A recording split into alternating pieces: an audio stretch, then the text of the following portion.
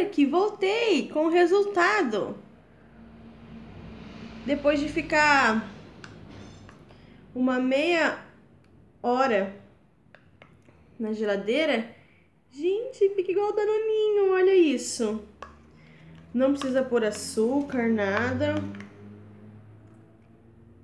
Certo? E a gente vai comer só uma colherinha, certo, gente? Isso daqui é só pra, pra parar a ansiedade do doces, ok?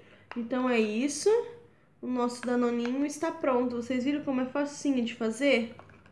E fica uma delícia! Então é isso. Espero que vocês tenham gostado. Se inscrevam aqui no canal, deixe o seu curtir pra mim e beijo, beijo e até a próxima!